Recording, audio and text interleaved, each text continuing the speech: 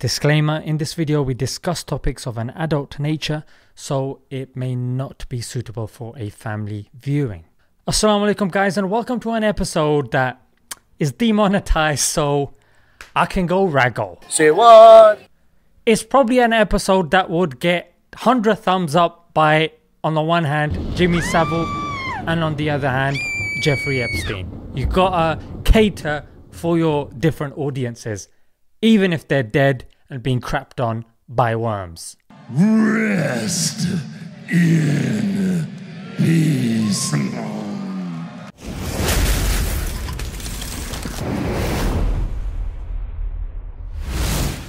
Okay, guys, so some of you may be aware that Netflix has started the promotion of a movie that they are planning to release on, I think, September the 9th. They have decided to call the movie Cuties, which is rather worrying considering it's about an 11 year old girl who disobeys her parents to go and join a twerking dance group. You disgusting person. You are a disgusting person. And if that's not all, here's the promotional poster. The girls are wearing booty shorts, crop tops, and in very provocative positions. Shame on you. Shame on you. Shame on you. Although Jeffrey Epstein and Jimmy Savile may be dead, but it seems like their putters and their grandchildren are still roaming the streets. And Netflix has hired them. But the description of the dance group as the twerking dance group got changed after a few of them realized hang on just a minute. I think we've gone 100% pedoflix. Let's dial it down, yeah? Let's dial it down to say an 80. And that's exactly what they did when they called it Free Spirited Group. If freedom is pimping your daughter out as some sort of streetwalker and getting her to dance on stage in front of ogling pervy old men, then you can keep that sort of freedom and I will gladly accept any label that you throw upon me. Naturally, there has been outrage, but what was interesting was it wasn't by Muslims immediately, yeah, because I think it's only about a day old. So even when non Muslims saw this, they have gone crazy. In fact, there's a petition that has amassed, I think, over 22,000 signatures in a day. And when I last checked, it was on 35,000. So definitely sign that. If we were to look deeply into this troubling endeavor that Netflix has taken upon its shoulders, there's a number of problems. Yeah, and I've noted them down. The first thing is they're sexually grooming our children. If you look at the parental certificate, there's no warning. So anyone can see it. Yeah. So even if you apply these parental locks, it's not going to be enough. The second thing is wrongly attributing femininity and freedom to sex and nudity. And next, we have destruction of family values and the family unit.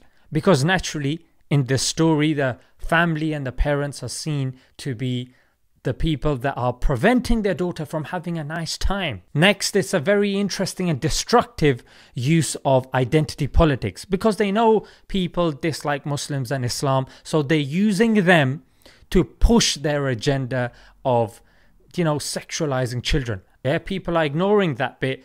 They are treating the child as a child, not as a Muslim child, because unfortunately and sadly, Muslims are being dehumanized in the media. So I think that was a breath of fresh air to see as well. And the final problem that kind of really stood out to me was desensitizing us to pedophilia. I mean, I think it was about a, a year or two ago where even I think a major fashion brand were putting kids on the catwalk and giving them suggestive clothing as well.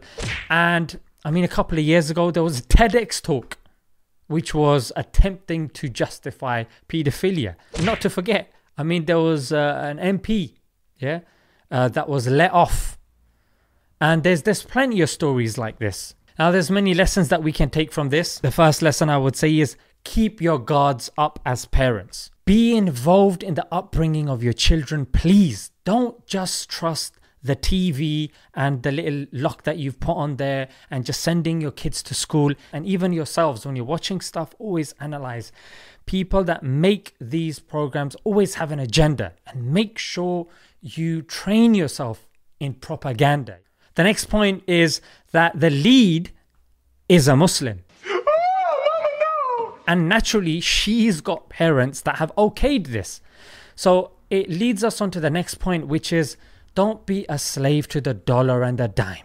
Yeah, don't be a slave to cash. And the only way you can do this is by training yourself and your families to live simplistically and not to depend too much on materialism. Things you own end up owning you.